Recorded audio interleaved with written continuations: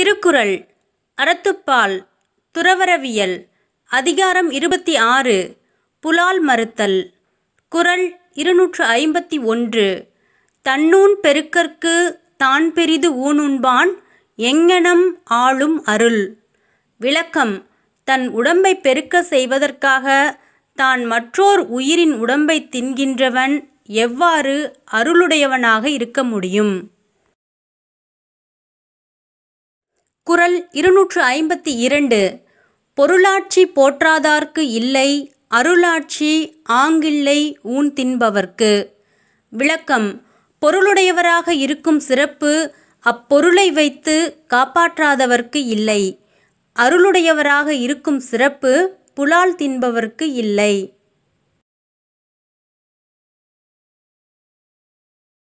குறள் இருநூற்று ஐம்பத்தி மூன்று.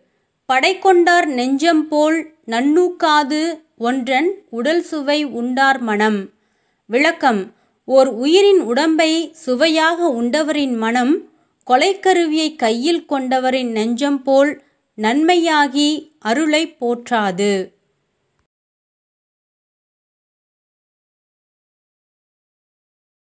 குரல் இருநூற்று ஐம்பத்தி நான்கு. அருளல்லது யாதெனிர் கொல்லாமை கோரல் பொருளல்லது ஊன்தினல். விளக்கம் அருள் எது என்றால் ஓர் உயிரையும் கொல்லாமல் இருத்தல் அருள் அல்லாது எது என்றால் உயிர்களைக் கொள்ளுதல் அதன் உடம்பை தின்னுதல் அறம் அல்லாதது.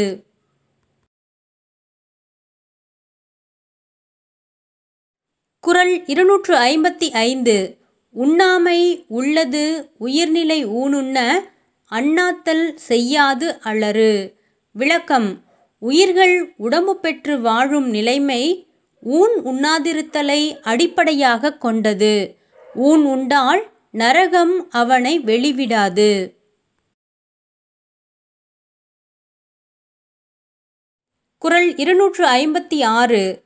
திணற்பொருட்டால் கொல்லாது உலகெனின் யாரும் விளை பொருட்டால் ஊன்றருவாரில் விளக்கம். புலால் தின்னும் பொருட்டு உலகத்தார் உயிர்களை கொல்லாதிருப்பாரானால் விளையின் பொருட்டு ஊன் விற்பவர் இல்லாமல் போவர்.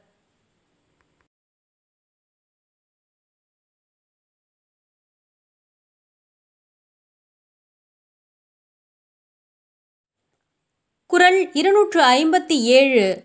உண்ணாமை வேண்டும் புலால் பிரிதொன்றன் புன்னது உணர்வார் பெறின் விளக்கம். புலால் உண்ணாமல் இருக்க வேண்டும். ஆராய்ந்து அறிவாரை பெற்றால் அப்புலால் வேறோர் உயிரின் புண் என்பதை உணரலாம்.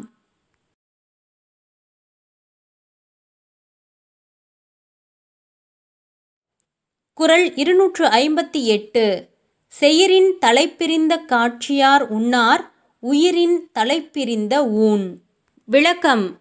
குற்றத்திலிருந்து நீங்கிய அறிவை உடையவர் ஓர் உயிரின் இடத்திலிருந்து பிரிந்து வந்த ஊனை உண்ணமாட்டார்.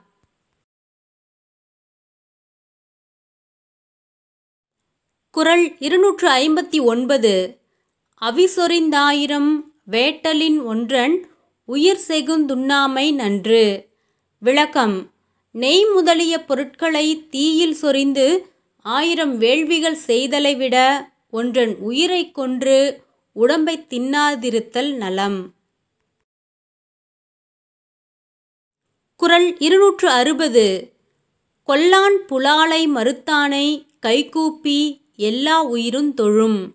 விளக்கம். ஓருயிரையும் கொல்லாமல் புலால் உண்ணாமல் வாழ்கின்றவனை உலகத்தில் உள்ள எல்லா உயிர்களும் கைகூப்பி வணங்கும்.